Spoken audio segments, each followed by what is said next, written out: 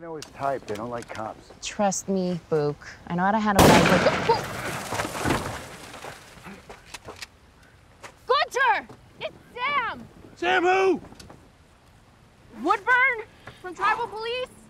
I just want to talk. Woodburn. Put the gun down, Gunter.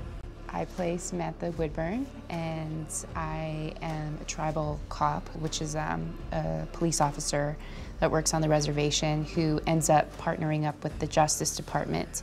So, like the city police force, and then I end up taking over as the chief lieutenant of the Justice Department in partnership with the tribal police.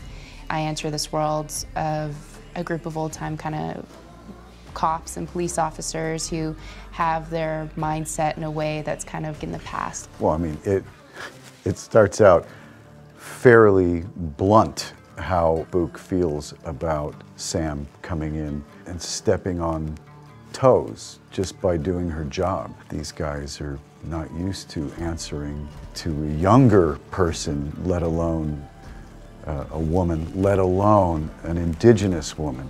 One of the major kind of voices in the show is coming from uh, a young, very strong, well educated, put together, positive, indigenous Canadian woman.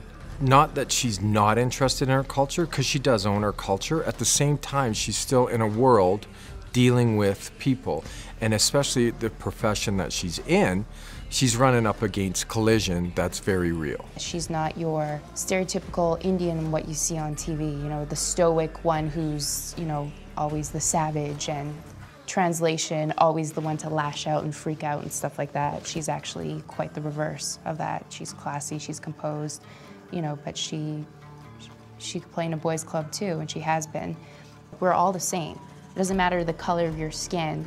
We're equally doing great things.